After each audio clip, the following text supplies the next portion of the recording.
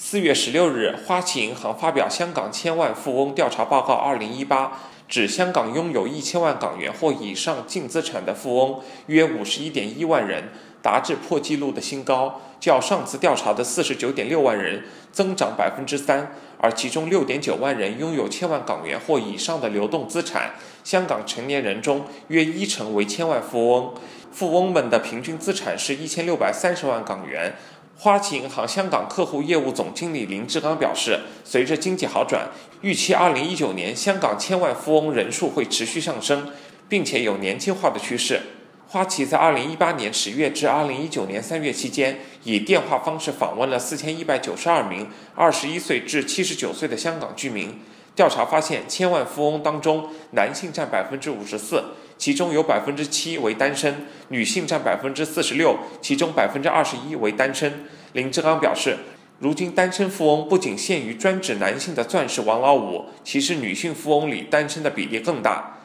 报告称，千万富翁平均每人拥有三个物业，其中百分之四十四用作自住百分之五十六用作投资，而他们在二零一八年普遍看淡楼市。只有百分之二十二的受访者在过去五年曾买入物业，按年减少百分之二。流動資產方面，千萬富翁比較多投資股票、基金和債券。